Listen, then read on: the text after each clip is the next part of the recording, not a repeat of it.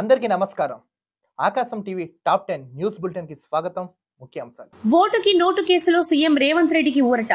ఓటుకి note case విచారణను మధ్యప్రదేశ్కు బదిలీ చేయాలని కోరుతూ భారత రాష్ట్ర సమితి ఎమ్మెల్యే జగదీష్ రెడ్డి దాఖలు చేసిన పిటిషన్ను సుప్రీంకోర్టు కొట్టేసింది. కేసును ప్రభావితం చేస్తారని అనడానికి ఎలాంటి ఆధారాలు లేవని పేర్కొంది.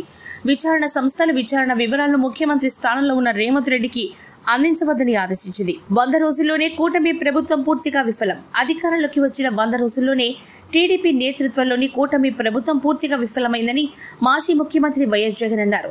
సీఎం చంద్రబాబు వంద రోజుల్లో అన్ని వర్గాల వారిని మోసం చేశారని సూపర్ సిక్స్ అమలు కావడం లేదన్నారు. అన్ని వ్యవస్థలు కుప్పకూలిపోయాయని వైసీపీ సానుభూతి పనులపై దాడులు పెరిగిపోయాయని అన్నారు. తిరుమలలు అంశంపై చంద్రబాబు వ్యాఖ్యలు అత్యంత దారుణంగా ఉన్నాయని విమర్శించారు. దేవులను కూడా సీఎం చంద్రబాబు రాజకీయాలకు వాడుకుంటున్నారని ఆగ్రహం వ్యక్తం చేశారు. సనాతన ధర్మ రక్షణ బోర్డు ఏర్పాటు చేయాలి. భారతదేశంలో హిందూ ఆలయాలను పరిరక్షించుకునేందుకు కేంద్ర ప్రభుత్వం సనాతన ధర్మ రక్షణ బోర్డును ఏర్పాటు చేయాలని ఏపీ ఉప ముఖ్యమంత్రి పవన్ కళ్యాణ్ అన్నారు. తిరుమలలో తయారీలో గత ప్రభుత్వం చేసిన దారుణాలు క్షమించరానివని అన్నారు.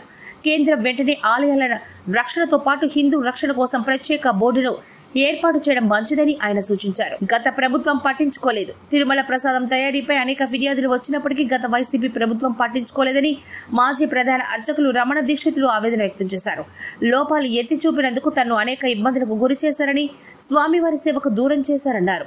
కూటమి ప్రభుత్వం వచ్చాక ప్రక్షాళన ప్రారంభించారని తెలిపారు. నెయ్యిలో నాణ్యత లేదు. ఈవో శ్యామలారావు తిరుమల శ్రీవారి లడ్డు తయారీలో ఉపయోగించే నెయ్యిలో ఎలాంటి నాణ్యత లేదని టీటీడీ ఈవో శ్యామలారావు స్పష్టం చేశారు. తిరుమల కొండపై ఆయన మాట్లాడుతూ నాణ్యమైన నెయ్యి ధర ఎక్కువ పెట్టాల్సి ఉంటుందని మూడు వందల ఇరవై రూపాయలకు కల్తీ నెయ్యి మాత్రమే వస్తుందని అన్నారు. కల్తీ నెయ్యిపై పోర్టు సిబ్బంది కూడా అసంతృప్తి వ్యక్తం చేశారని తెలిపారు. ప్రస్తుతం అన్న ప్రసాద పంపిణీ నాణ్యతను పాటిస్తున్నామని లడ్డూ తయారీలో కూడా నాణ్యత పాటిస్తున్నామని ఆయన స్పష్టం చేశారు. జానీ మాస్టర్కు రిమాండ్. లైంగిక వేధింపుల ఆరోపణలు ఎదుర్కొంటున్న ప్రముఖ కొరియోగ్రాఫర్ జానీ మాస్టర్కు ఉప్పరపల్లి కోర్టు పద్నాలుగు రోజుల పాటు రిమాండ్ విధించింది. నార్సింగి పోలీసులు జానీ మాస్టర్ను గోవాలో అరెస్ట్ చేసి కోర్టులో హాజరుపరిచారు. దీనిపై స్పందించిన జానీ మాస్టర్ తన్ను కావాలని ఈ కేసులు ఇరికించారని త్వరలోనే నిజానిజాలు బయటపడతాయని అన్నారు. జగన్ ఒక పాపకు ముఖ్యమంత్రి. రాజా సింగ్ ఆంధ్రప్రదేశ్ ముఖ్యమంత్రిగా పనిచేసిన వైఎస్ జగన్ ఒక పాపపు ముఖ్యమంత్రి అని బీజేపీ గోషామహల్ ఎమ్మెల్యే రాజాసింగ్ విమర్శించారు.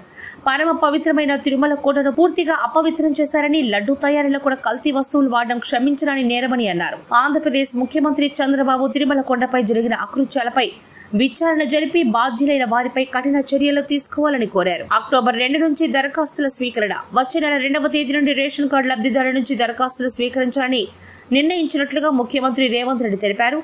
సచివాలయంలో కొత్త రేషన్ కార్డుల పంపిణీపై అధికారులతో సమీక్షా సమావేశాన్ని నిర్వహించారు. అక్టోబర్ రెండు నుంచి దరఖాస్తులు స్వీకరించాలని ప్రతి ఒక్కరికి డిజిటల్ రేషన్ కార్డులు అందించేలా చర్యలు తీసుకుంటామని అన్నారు.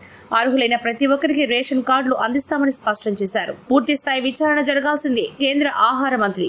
తిరుమల లడ్డు తయారీపై వస్తున్న ఆరోపణలపై పూర్తి స్థాయి విచారణ జరగాల్సిందేనని కేంద్ర ఆహార మంత్రి ప్రహ్లాద్ జోషి అన్నారు.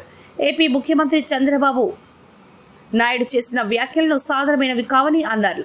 కోట్ల మంది భక్తుల మనోభావాలు ముడిపడి ఉన్నాయని కేంద్ర ప్రభుత్వం కూడా ఈ విషయంపై పూర్తి విచారణ చేపడుతుందని అన్నారు. నూట నలభై తొమ్మిది పరుగులకి బంగ్లాదేశ్ ఆల్అౌట్ చెన్నై వేదికగా జరుగుతున్న తొలి టెస్ట్లో బంగ్లాదేశ్ నూట నలభై తొమ్మిది పరుగులకి ఆల్అౌట్ అయింది. భారత బౌలర్లలో బుమ్రా నాలుగు వికెట్లు ఆకాష్దీప్ మహమ్మద్ సిరాజ్ రవీంద్ర జడేజాలు రెండేసి వికెట్లు తీశారు.